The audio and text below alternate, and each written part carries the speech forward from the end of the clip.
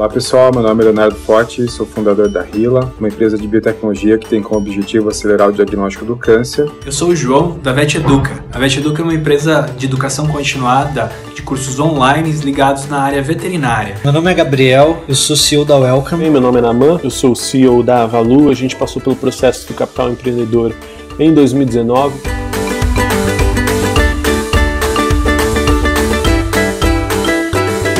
Foi muito bom, tanto as, as mentorias presenciais quanto as online. E o Capital Empreendedor foi muito importante no sentido que a gente possa enxergar um pouco mais do horizonte que é o empreendedorismo. Foi um processo extremamente importante para nós, principalmente a questão da mentoria e de nos estruturarmos para receber um investimento. Nesse programa a gente aprendeu inúmeras ferramentas, tanto da parte de gestão de negócios, gestão de recursos humanos.